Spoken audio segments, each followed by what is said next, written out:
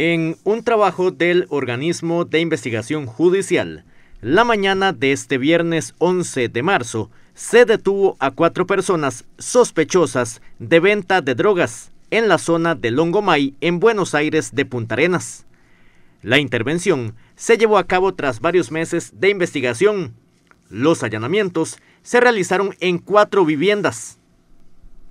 Los detenidos son tres hombres de apellido Ortiz, de 53, 36 y 23 años, y otro hombre de apellido Morales, de 44 años.